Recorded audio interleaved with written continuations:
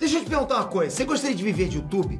Fazer seu próprio horário, trabalhar de onde você quiser e principalmente gerar muita receita? Pois é, hoje é a sua chance. É. Eles estavam falando por que, que, por que, que acontece muito acidente nesses voos particulares, né? De helicóptero. É particular o nome? Como chama esses é, voos privado, privados, né? né? Polêmica. Polêmica. É, já tentaram me cancelar por causa disso. Quando teve o um acidente com o Gabriel Diniz, eu fui convidado por Pânico. E, porra, Pânico ali, você tem 30 minutos de entrevista ali. Eu sentei o, o Emílio. Porra, quem inventou o avião mesmo? Foi o Santos Dumont ou. ou os irmãos Wright? Aí, tá, já veio com, né? Aí eu respondi o que tinha que responder e aí entrou esse papo do Gabriel Diniz, né? E, porra, é, às vezes você tem que generalizar para as pessoas entenderem. E o tempo é muito curto de resposta. Eu não vou criar uma tese é. para falar de por que, que a aviação privada ou a aviação comercial é mais segura. E quando eu falo isso, todo mundo da aviação geral e particular aponta os canhões para mim. Fala, baseado em que você disse que é mais segura? Mas então, vamos, vamos lembrar desse caso. O que, que aconteceu? Do Gabriel Diniz? É. Vamos. Mas deixa eu só concluir o raciocínio do, do de, desses canhões apontados. Ah, tá, tá. Se você entrar no site da, do CENIPA, tem o painel CIPA-Air, é, é, de segurança de voo. E você pode pegar os relatórios dos últimos 10 anos estatísticos de acidente aéreo. Nos últimos 10 anos, você sabe qual é o número em porcentagem de acidentes na aviação particular não regular em relação à aviação regular? Chuta um número aí em porcentagem. Quantos por cento a mais tem de acidente? 10%.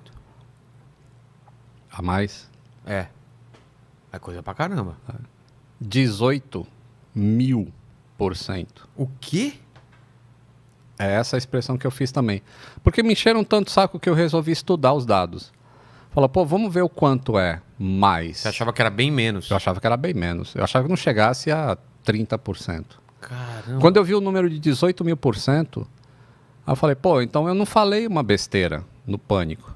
Posso ter me expressado mal e o pessoal entendeu. Porque lá eu expliquei muito rapidamente assim. Eu falei, pô, no avião particular, é, é, é igual um carro. Você compra um carro, se você levar na concessionária e fizer todas as revisões em dia, a chance do teu carro quebrar é bem menor. É do que se você.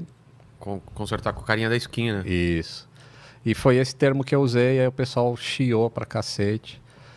Mas, cara, é, esses dias eu fiz o. Saiu o relatório do acidente do Boechat, no helicóptero. Você vê as barbaridades que foram feitas ali. Aquele é um acidente esperando para acontecer por 30 anos. Caramba.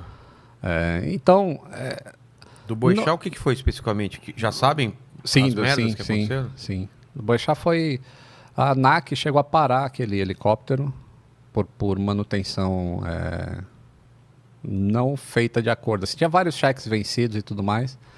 E aí, para o avião voltar a voar, colocaram, trocaram uma desses componentes que precisava, que era o compressor do helicóptero, botaram outro. E a ANAC foi, fez uma nova inspeção e liberaram o helicóptero para voo. O, helicóptero voou, acho que menos de 60 dias, alguma coisa assim.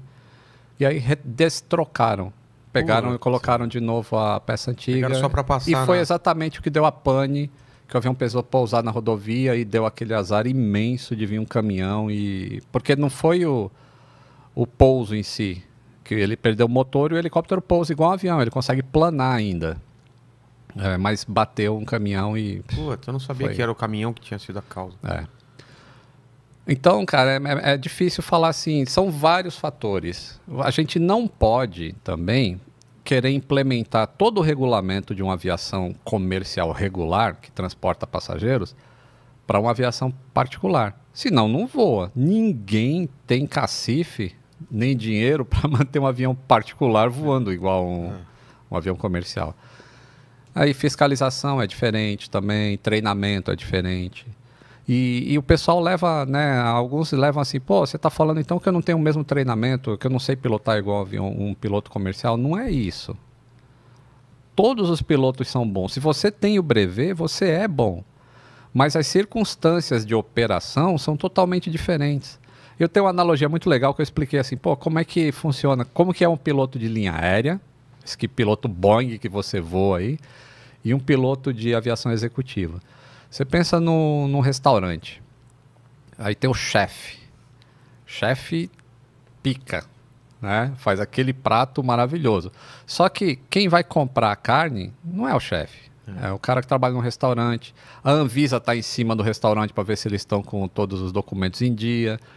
A É. vigilância sani- sanitária. Vigilância sanitária. Aí vem o outro carinha lá para cortar o, a, alfacezinha. Aí vem o garçom que vai servir. O que, que o chefe vai fazer? Ele vai só pegar aquela tirinha de bife que já foi cortada por alguém, dá o toque dele, põe um molhinho lá.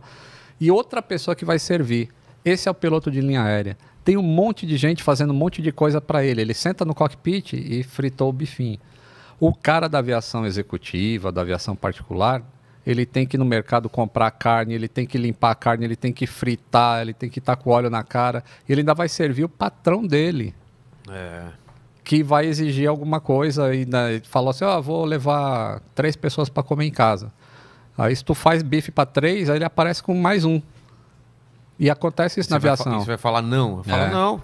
Vou e Tipo, ó, pronto. tu tem um voo para fazer e.